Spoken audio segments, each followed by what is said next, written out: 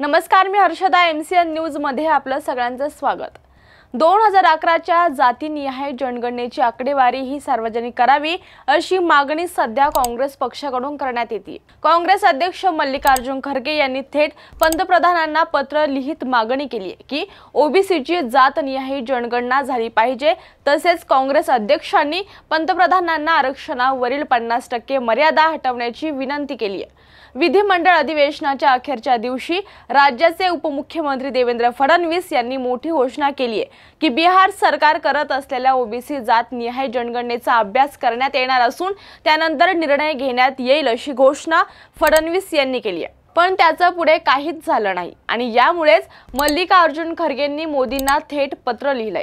जातीच्या आधारावर जाती गणना केल्यामुळे सामाजिक न्याय आणि सक्षमीकरण मजबूत होण्यास मदत होईल असं खरगे यांनी मोदींना लिहिलेल्या पत्रात म्हटलंय.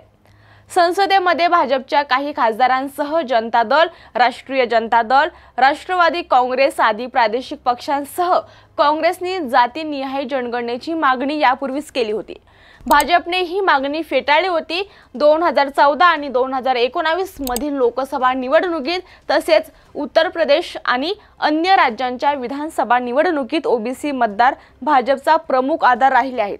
दलित आदिवासी आणि तसेच ओबीसी मतदारांनी काँग्रेस पक्षांपासून फारकत घेतल्यामुळे दोन्ही लोकसभा निवडणुकीत काँग्रेसच्या मतांचा टक्का घसरला.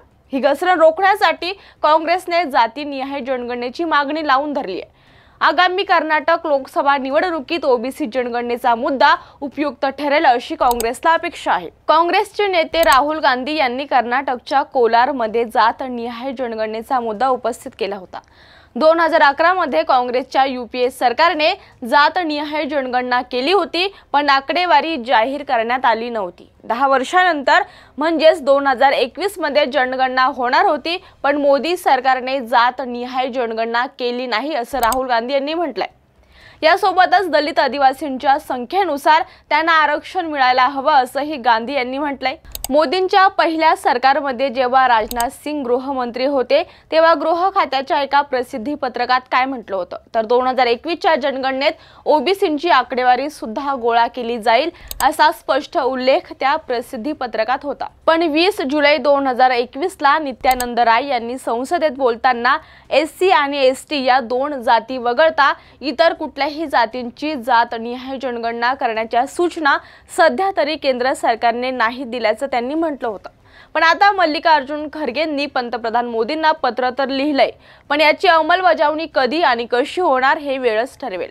हा व्हिडिओ तुम्हाला कसा वाटला कमेंट्समध्ये आम्हाला नक्की कळवा आणि आमच्या यूट्यूब चॅनलला नक्की सबस्क्राईब करा. धन्यवाद.